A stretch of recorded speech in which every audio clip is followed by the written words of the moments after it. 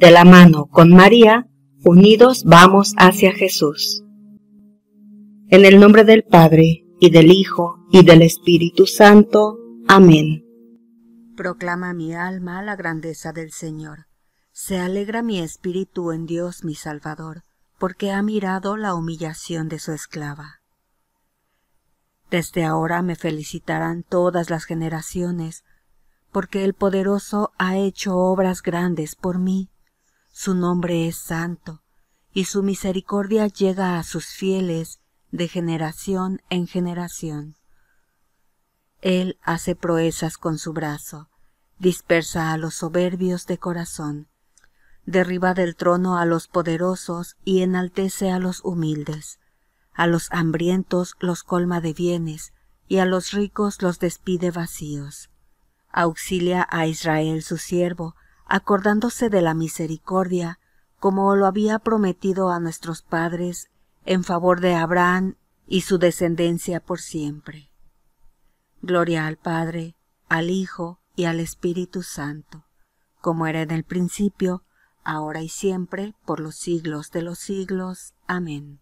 Porque eres bellísima y sin mancha, el encanto de Dios, la maravilla de la creación, la alegría de los ángeles, el consuelo y la esperanza del hombre porque llevas un corazón de madre que robas ternura y bondad para con tus hijos. Corazón inmaculado, verdadero océano de misericordia, donde venimos a ahogar todas las miserias de la vida, y donde asimismo recibimos los consuelos de tu amor sagrado. Permíteme, Señora, que desahogue a tus pies mi corazón Aprovecha este pequeño momento de silencio para que pongas en manos de nuestra Madre Santísima esa situación que te quita la paz. Si necesitas un poco más de tiempo, puedes pausar el video.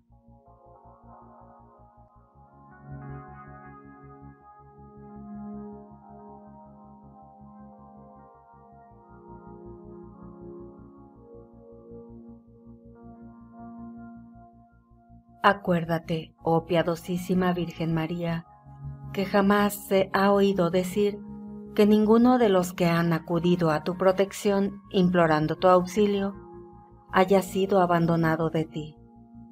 Animado con esta confianza, a ti también yo acudo y me atrevo a implorarte a pesar del peso de mis pecados. Oh Madre del Verbo, no desatiendas mis súplicas, antes bien, acógelas benignamente. Amén. En la vida de la Virgen hallamos muy pocas cosas extraordinarias o llamativas. María, en Belén y en Nazaret, se santificó en las mil y una cosas de la vida cotidiana de una solícita ama de casa. Todavía se conserva en Nazaret la llamada fuente de la Virgen a la que ella iría todos los días con el cántaro sobre su cabeza y llevando a Jesús de sus manos, buscando el agua que necesitaba. No pensemos que nosotros vamos a llegar a la santidad haciendo cosas raras o llamativas, cosas que salgan de lo común o de lo que hacen los que nos rodean. Lo extraordinario no deberá estar en lo que hacemos, sino en el amor con que lo realizamos. Madre de la Iglesia, pues no se puede hablar de la Iglesia si no está presente María. Ayúdanos a formar comunidades donde vivamos la santidad en las pequeñas cosas de la vida cotidiana. Recemos ahora las tres Ave María, recordando los atributos de poder, sabiduría y misericordia que Dios ha concedido a nuestra Madre Santísima.